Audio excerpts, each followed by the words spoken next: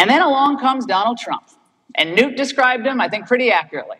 He's a rough and tumble guy without any political experience. And he comes out and he calls everybody out on their blankety blank. And he does it in a way that is off putting. And I think it's frankly terrifying to a lot of people. Because when you mess with their status quo, then they start getting really serious about fighting you.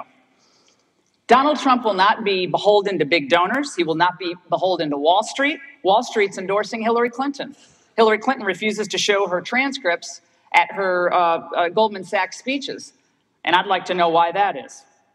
We need a government that represents all the people, from no matter where they come from, no matter what color of their skin. And Donald Trump promises to do that. And I think a system that is